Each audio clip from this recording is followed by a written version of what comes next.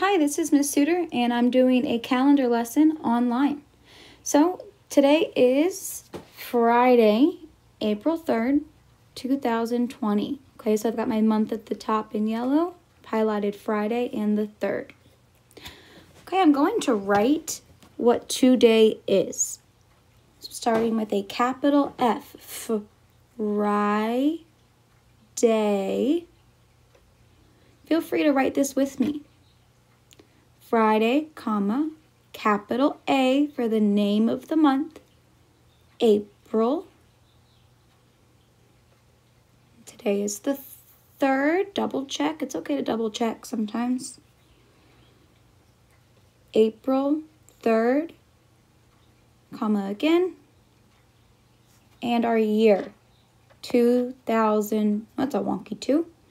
There we go, 2020. So now using the color blue, I want to look at what yesterday was. Yesterday means I jumped backwards one.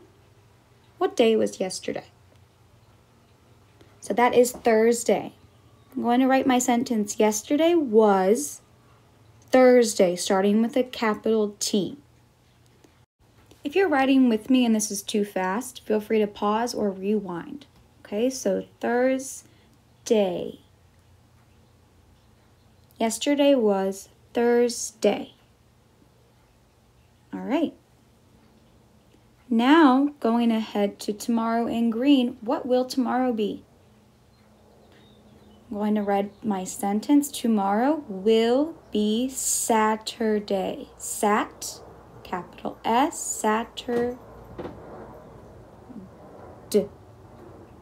Fix my R. Oops. Hard to write with my finger here. Saturday. Now, since I'm making a sentence, I am missing something, and that's punctuation. So, watch what I do to my sentence. Hmm, not like that. I'm adding a period to the end. Yesterday was Thursday. Now, some people really love the weekend and they get excited. So, I'm making, I will eventually make, an exclamation mark. So my sentence says, tomorrow will be Saturday. Woohoo! We're going to write the date one more time in the digital form. Digital means numbers. We know that there are 12 months of the year. April is our fourth month.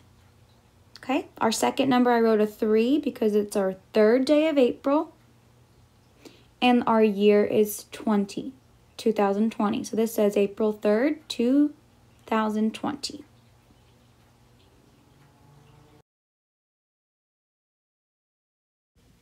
Here we've got a weather graph. So we're recording how many days we see certain types of weather in April. I started this graph on April 1st and I just wrote the date 4320 in the corner. I've already record recorded what the weather was like on April 1st, and it was partly cloudy. And so now I just made my rectangle for yesterday's weather. It was very sunny yesterday. That's why I put a yellow sunny spot. What's the weather like today?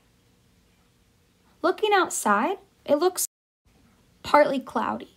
So that's why I'm making a new section on my graph for partly cloudy. And now I have two days my line goes up to 2. That'll come in handy when looking at our most frequent weather. So let's look at the weather that's happened the most so far in April. I'm drawing a line on the bar that's the highest. What's that one? Partly cloudy with two days. And we've had one day of sunny weather this month. Now, we haven't had any of these four options, cloudy, rainy, stormy, or snowy, at least not yet. So let's write down our most frequent weather. I'm writing down partly, partly, oh, there we go, sunny, or you could write partly cloudy, e either way. Partly sunny has been our most frequent. What's the least frequent? The one that we haven't had. So I'm just drawing an arrow. All right? I'd love to hear your weather predictions in the comments below. So, what do you think the weather will be like tomorrow? The last part of our calendar routine is going to be something new, and it's a temperature graph. So, we're going to track how hot or cold it is during the month of April.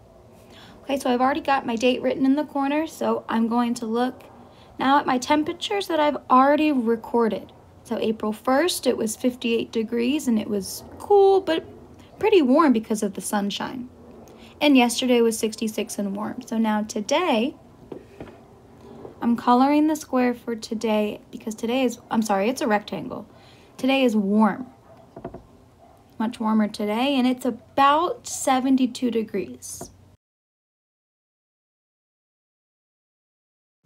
This thermometer here helps us track how hot or cold the, temp the temperature is. So we've got cold, cool, warm, hot, and very hot with the numbers beside it. So cold, for example, is maybe in the 30 degrees or anything below that.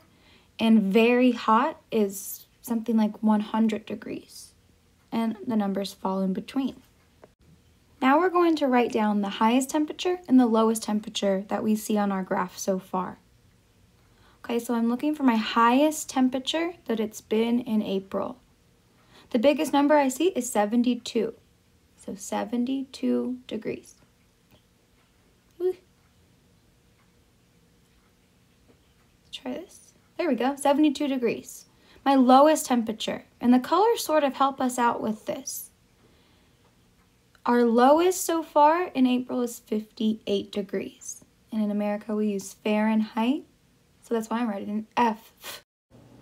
Please post your temperature predictions in the comments below, and I'll be making more calendar videos soon. Bye! Thank you so much for watching.